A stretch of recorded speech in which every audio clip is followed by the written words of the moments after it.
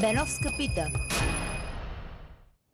И продължаваме нататък, уважаеми зрители. Имам удоволствие да посрещна следващия гост в студиото на Беновска пита. Здравей. Здравей. Това е писателят, масон, обичам така да го обявявам, Димитър Нетков. Това второто може да, Да го спестим. Да го спестим. В това благодаря за трайния интерес към мене. Остана да разбера защо е. Ами, м- той има много причини, господин Нетков, за интерес към вас и особено за вашите тези. Но понеже сме в една... Разбрах, че последно време много хора се интересуват от мене. Във връзка с едно мое, така, да как да го кажа, някаква самоинициатива по отношение на моето лично мнение относно президентската институция в България. Да, това е едно от нещата, които също ме интересува. Но исках само да направя кратко увод, че да кажа защо се интересувам и от тази, от това ваше мнение. Намираме се в една много сложна геополитическа обстановка. Ние сме в момента на Балканите единственият а, център с правителство. Обградени сме от Македония, без Румъния, с която ще са министър-председател, Гърция преди избори, Турция преди избори. И сме проход на беженска вълна, за която трябва да решаваме в Европа дали ще се съгласим да приемаме квоти. И България дали щ- можем да отговорим на въпроса, вие много добре искам да ми отговорите на това, дали, дали можем да поемем отговорността Европа да се промени верски, морално, етнически или тази опасност не ни грози. И Бъл- от тук стъпете в България местни избори. България... Местни избори ли ще има? Не знаете ли?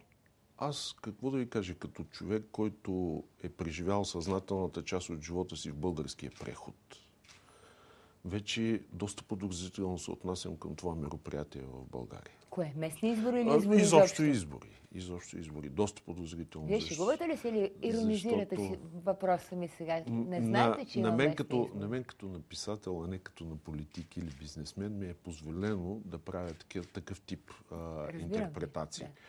А, много оценям с това, с което започнахте по отношение на ситуацията, в която днес се намира не България, целият свят. И искам да кажа, че България има изключителен шанс в момента. Е Точно той? това място, с което винаги ние сме се оплаквали, че сме кръстопът на различните светове, днес може да се окаже много значим фактор, който, дай Боже, дай Боже, българските политици а, да го осъзнаят и да го изиграят правилно Но в, каква интерес, в интерес на? България. В каква посока е интереса Например, на България? например, днеска много ми допадна това, което каза премиерът, въпреки че не съм от явните негови симпатизанти, по време на откриването на своята предизборна кампания, относно въпросът, въпросът за а, беженската вълна. А, ако ние сме умни, трябва да оценим, че беженска вълна е доста слабо определение за това, което се случва и може би за това преселението на народите е по-точното определение. А, няма, няма страшно от едно такова явление. Човешката история хилядолетна го е показала. Ако, ако а, хората, от които зависи вземането на правилни решения, осъзнават своята отговорност. Добре, какво трябва да бъде аз решението оптимист, на България? Аз съм оптимист. Какво? По, аз съм оптимист по отношение на решението на България, но съм песимист а, по отношение на а, по-голямата игра, в която България, за съжаление, е много малка пионка. Пояснете го на разговора. Голямата игра, голямата игра между Америка и Европа. Така. Знаете ли, скоро попаднах на една много интересна карикатура, в която на индиански резерват в Америка пише беженци. Съвременна. И лично аз. Да, съвременна карикатура. Тези не им попадна, не мога за съжаление да цитирам автора и не съм го запомнил. А, аз се опасявам, че ако по този начин Европа продължава да стои на колене пред Америка, известен съм с моите антиамерикански а, убеждения, поради това, че познавам много добре тяхната история. Ако Европа продължава да се държи така, нас, европейците, нищо чудно след няколко стотици години да ни намират в някакви резервати. Пряко да ви задам въпрос. Направи ли ви впечатление предложението на Саудитска Арабия към германската държава? За? за това, че Саудитска Арабия е готова в Франкфуртер Zeitung, коне днешния брой, беше написано, Саудитска Арабия е готова да финансира изграждането на 200 джамии на територията. Нещо много на територията значимо. на Германия. Никой извън България не го пропусна този факт на територията на Германия, за да може беженската вълна да обслужва своите религиозни интереси. Ето в тази посока исках да попитам. Смятате ли, че е вярна, а не а, конспиративна теория? Теорията, че американците плащат на а, бежанци, които да се преселват не като а, вълна, а като порой, може би, или като а, водопад на територията на Европа с Да, цел, както, с- смятам, както разбрах. каза, искам да цитирам точно Орбан. Той казва, че ако ние пуснем всички от бежанците в Европа, Европа ще загине. В резултат на миграцията, мисиоманите в обозримо бъдеще ще станат мнозинство в Европа, християните в Европа ще станат малцинство, Европейския съвет ще, свят ще загуби своята идентичност. Евала е казвам на такъв премиер. Кажете. Евала казвам на такъв премиер като Орбан. Аз определено смятам, че това първо, това, което днес се случва, е резултат на точно американската политика.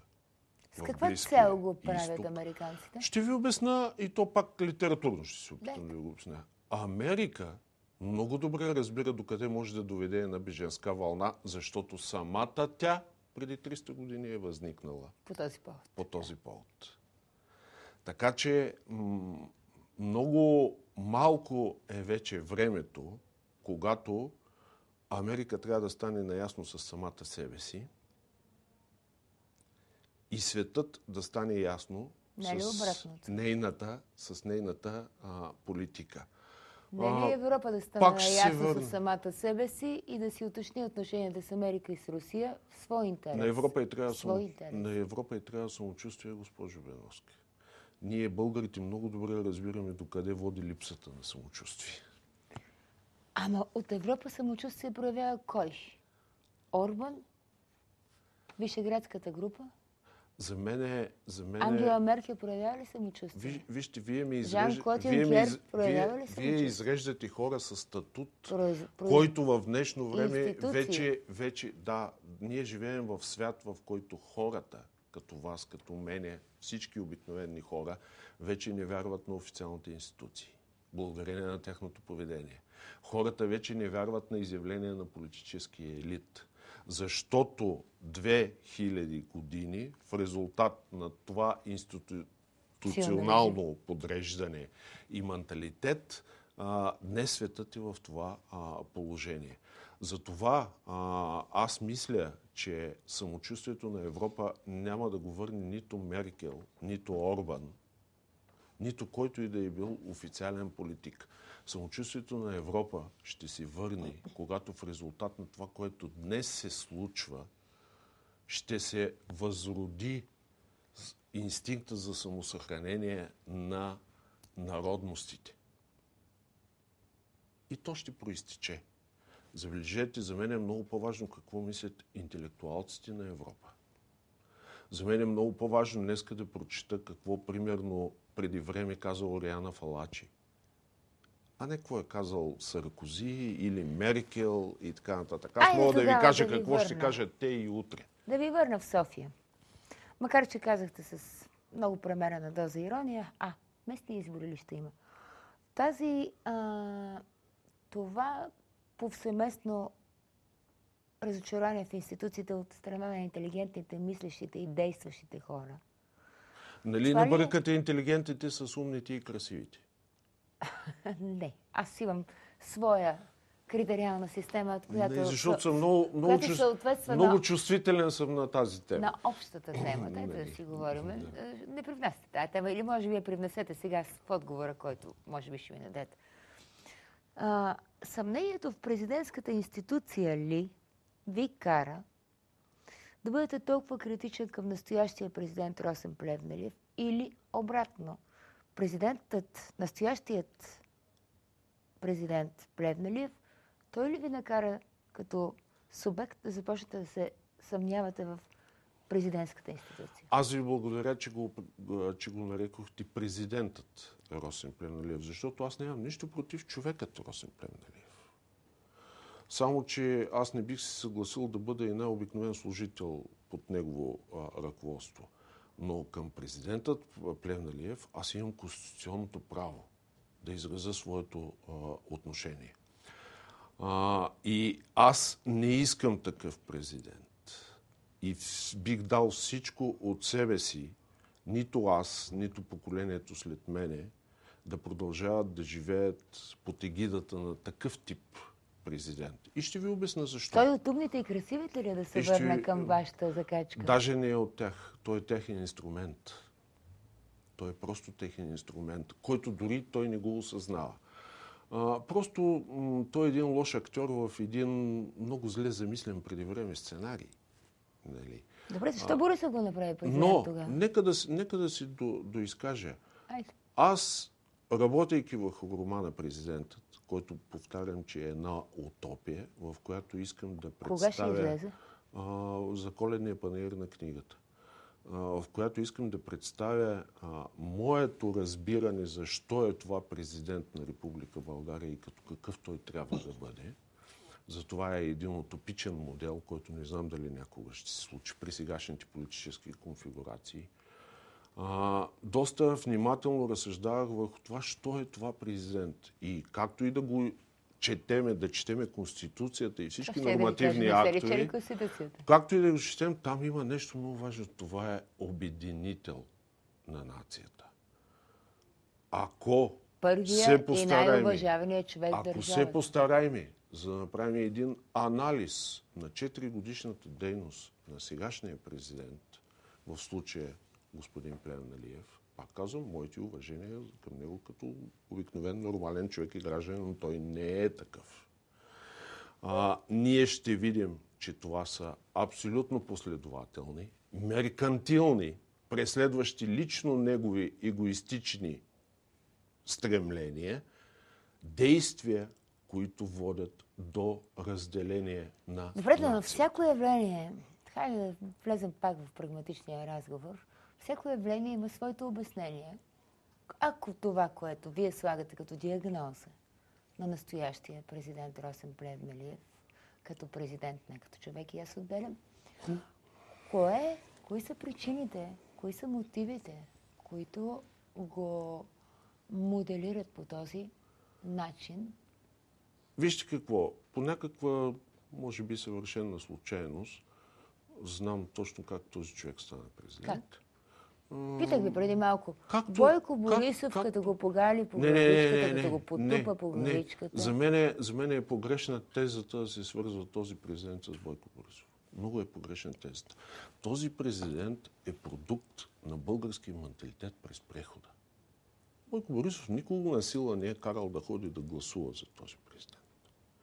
Бойко Борисов до известна степен е излишен гарант за този президент, но убеден съм, убеден съм, че и самия той съжалява в момента, защото той, той самия, той само след няколко месеца ще бъде в много по-тежка ситуация. Защото? Самият премиер, защото ще възниква въпроса кой ще е кандидата за президент на ГЕРБ. А, вие как знаете, че има президентски избори след една година? Ме, аз, се интер- 2016, а местните са аз, че аз, се не интересувам, аз се интересувам от президентските Така, избори. и? Защото все пак продължавам, продължавам да стоя в тази държава. И стоейки в тази държава, искам да знам кой е моят лидер. Нали? Президента, Конституцията И така кой е е решила. моделирал този А- феномен? Президента Плевнелиев. А, Това го моделира порочния, порочния български преход, който аз смятам, че дори не е започнал. Ние бяхме в някаква прелюдия. Ние сме нали, уникална държава и като географско положение, и като етапи на своето развитие. Ние се движим се с някакво, някакво такова Но кажете закъснение. конкретно, кои е недостатъци на този преход? Какво? А, склонност да се влияем от а, големите. Турция, най-вече, Америка. най-вече Склонност да сме невъзможността, невъзможността да, да създадем условието българската нация да добие своето самочувствие. Настоящия преход уби иллюзиите. Хората повярваха в много енигми и останаха разочаровани. Добре, но а, ще разширя кръга. Не знам дали ще ме подкрепите. Аз вчера попитах реформаторския блок, това беше основният ми въпрос. А, способни ли са да върнат националното самочувствие на горда нация на България, нация, която няма паднали в бой знамена, пленени в бой знамена, нация, която е създава славянската писменост, нация, която е дава откриватели велики на света. Все Има ли връзка между реформаторския блок и президента? в чисто политически тематики. Еми, къде да ви тикам? Ние сме не- в малко некомф- предаване за балет, господин. а, И, и затова ще бъда безкрайно откровен в а, своето мнение. Смятам, че точно тези хора, наричащи себе си реформаторски блок, които проистичат от принципите на една идеология, лишила България от конструктивен преход. Имам предвид правителството на Иван Костов. Те имат най-малкото основание да претендират, че биха могли да върнат националното самочувствие на българина. Напротив, това е политическо крило в българската политика, която обслужва чужди интереси. Кои са тия чужди интереси? Всички, които не са български. Е, да, ама ние се родеем с НАТО, нашия атлантически партньор и ние имаме общи наши интереси. Много политици го Вижте, произнасят. опита българина вече достатъчно е наясно с а, една горчива истина. Когато на него му натрапваха така наречения модел на североатлантическите ценности, а, той си помисли, че това са ценности, които са много по-възвишени. В днешно време ние виждаме, че този тип ценности, наречени северноатлантически ценности, са онези ценности, които водят света към гибел. Но, Българина е прагматичен, госпожо Беновска. Той никога няма да ги възприеме. Българина ще застане, ако мога много грубо да го кажа, българина ще застане зад българи, но никога няма да застане за чужди а, посланници. но, Никога но, няма да но. застане българина и да възприеме ценностите на хора, които идват да му диктуват как трябва да живее, кого трябва да обича, как трябва да харесва, на кого трябва да се кланя. Българинът не е такъв човек и те бъркат. Например, Въпреки за да ви го кажа и за да ви направя, за да ви направя, да ви направя по-интересно този екип, нали, примерно. Тук в последно време разсъждавам върху категорията а, модела кой и прословутия Дилян Пеевски. Българинът винаги ще застане за българина Дилян Пеевски, но никога няма да застане за сенатора Мак Кейн. За сенатора Мак Кейн ще застанат тези, които искат да продадат българската идентичност, българската економика, българските економически интереси, българския национален суверенитет на чужди економики. Ето, идваме тук.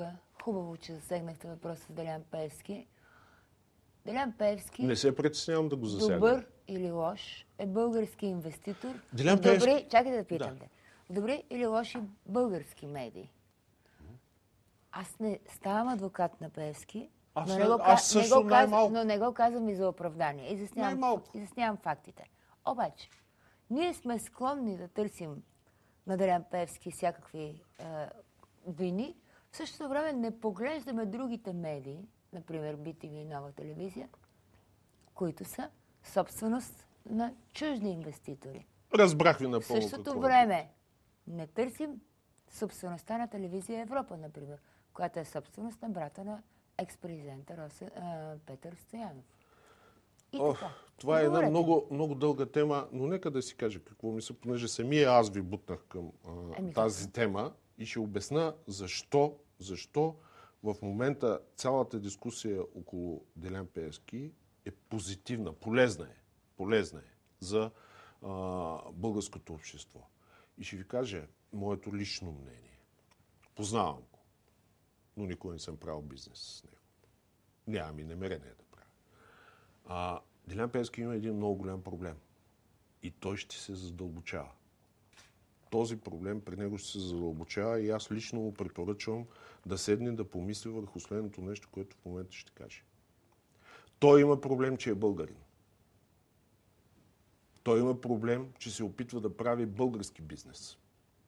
Фирмите, които обяви, че има участие във всичко, носят логото на България. Това нещо, тези, които са против него, умните и красивите, им се плаща, за да не го допускат. Аз съм, казах ви, че съм свидетел на българския преход. Познавам много български предприемачи. Някои от тях вече не са между живите. Всеки българин, който се опитва да създава българска економика, да създава български работни места, е неудобен за чуждестранния бизнес интернационализъм. Делян Певски сигурно не би имал никакви проблеми, ако би се съгласил по-голямата част от неговия бизнес или да играе ролята на подизпълнител на чужди корпорации, измукващи българското национално богатство. И нещо повече. Унижаващи. Унижаващи. Чуждите инвестиционни компании идват тук като колониални империалисти.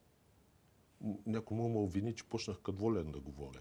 Само, че Волен е прав в това нещо. Сидеров има предвид. Те идват тук, за да смачкат самочувствието на този народ, който е съществувал и е диктувал економиката на Европа от времената, когато тези националности не са съществували. Не сте ли съгласни с мене? Ето, Росен ви подари бити душевност на нашия народ. Това, което ви го казвам, го е написал Хаджийски в началото на миналия век, когато България е била уважавана в Европа нация. Последен въпрос да надградим за сега разговора. Президента, продукт на време, Да. умните и красивите. Делян Продукт на чуждо време. Чу- Продукт на чуждо време. Делян Певски, български инвеститор, но с други евентуални перспективи, ако някой го подчини. Нали правилно ви разбирам? Точно така. Цитат. По повод последната посланическа среща, тя, този цитат не е оттам, но по За мен това е Но по антиконституционен акт, който да, просто изумях, че може да се случи това, в българския това парламент. по повод тази среща и непрекъснатото изказване на посланниците за едно или друго в България. С моите най-големи уважения и симпатия ще цитирам Шерже Дафера на Съединените Американски щати, Родерик Мур, който не е за първи път в България. И не случайно е. И не случайно.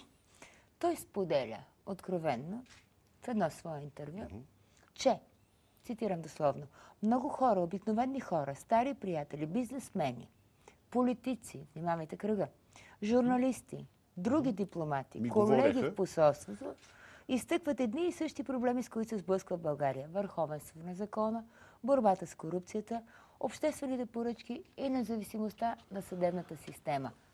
Може Когато ли ви- Елена Поп Тодорова да отиде, да седне и да каже, господин Обама, ние българите тук си говорим в посолството и ние журналисти, и индустриалци и други на ми казват, че има расова дискриминация. Когато ви казах, че господин Родерикбург е не случайно в България, искам да ви попитам нещо. Смятате ли, че е нормално американският посланник в България да е официален служител с официален чин на секретните служби на американската държава, а българският посланник да няма право на такова нещо по искане на американците? Нали? Български посланници не могат да бъдат такива. Смятате ли, че Сега. е нормално да, ние да сме в режим на реципрочни визи? Така. Европе, Европа, Господин- Штатите, ние България да господин- нямаме а, Господин, право на безвизово господин. Ронер Мур, а, ангажирам се с лично изявление, много добре лично той знае, защо лично аз казвам точно това нещо. Той много добре го знае.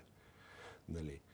А, би следвало, би следвало а, българските политици, като се започне от следващия президент и следващите премиери, и следващите народни представители, които се изреждат тук на вашето уютно, удобно диванче, да започнат, да започнат да разсъждават как да направят така, че да накарат посланниците на която и да е било държава, да се научат да се държат възпитано и професионално на територията на суверенната република България.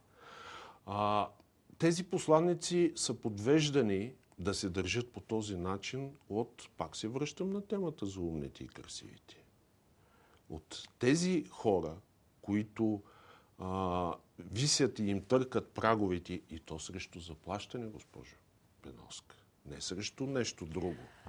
Има, а, има медии в България, които съществуват благодарение на грандовите на Да. чуждите посолства. Аз предлагам да спрем този разговор, не да го приключим, а да го спрем днес, тук ще го продължим и да ви обявя на вас и на нашите зрители, дайте ми близък план, че съм отправила покана към американския шерже д'афер Родерик Мур за участие в едно наше предаване. Защо да не му се зададат всичките тези въпроси? Надявам се той да приеме. А вас ще ви Аз бих му препоръчал този път да не пита умните и красивите дали да приеме вашата покана или да не я Не, съм се препоръчала в едно писъмце, написала съм с две изречения. Коя съм пък той, ако е толкова опитен политик? Колеги, дайте ме влизък план. Той няма право да Ако пише е кой е.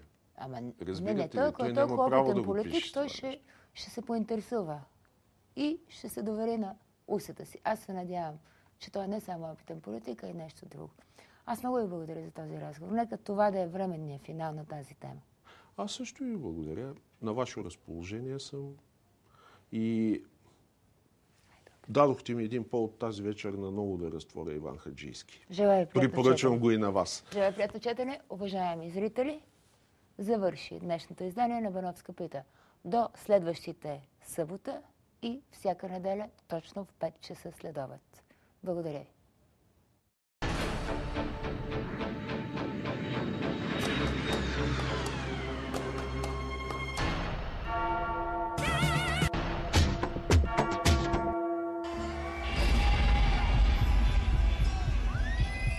Беновска пита.